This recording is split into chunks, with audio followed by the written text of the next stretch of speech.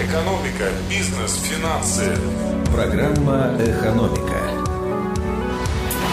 студии Ольга Болезина. Здравствуйте. Васильев попросил членов правительства заплатить налоги. Он напомнил чиновникам о том, что до 1 декабря необходимо уплатить имущественные налоги. По словам губернатора, 80% жителей региона уже получили налоговое уведомление. В прошлом году чиновники тоже обращали внимание на необходимость уплаты налогов. По инициативе Игоря Васильева была объявлена акция «Начни с себя». Сам глава региона тогда получил пароль от личного кабинета на сайте налоговой и уплатил там налоги на свое имущество. Программа «Экономика».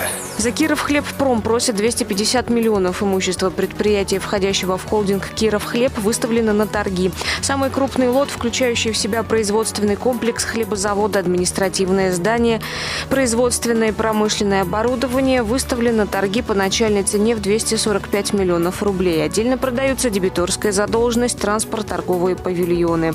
Торги назначены на 10 ноября. При этом предприятие продолжает расширять ассортимент. Как сообщил изданию «Навигатор», оператор источник знакомой ситуации, производство не остановится и после продажи предприятия. Есть много желающих его купить, поэтому можно с уверенностью утверждать, что весь имущественный комплекс Киров Хлебпрома перейдет новому собственнику целиком без дробления на отдельные лоты.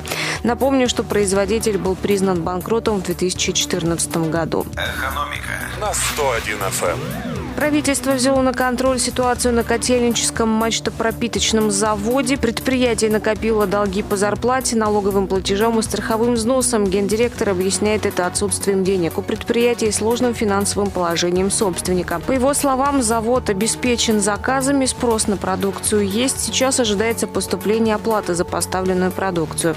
По итогам э, встречи стороны подписали дорожную карту по стабилизации финансово-экономической ситуации на заводе. В частности, части достигнута договоренность, что в срок до 30 ноября вся имеющаяся задолженность перед сотрудниками завода будет погашена. В этот же срок эм, в налоговую будут уплачены налоги и страховые взносы. Экономика.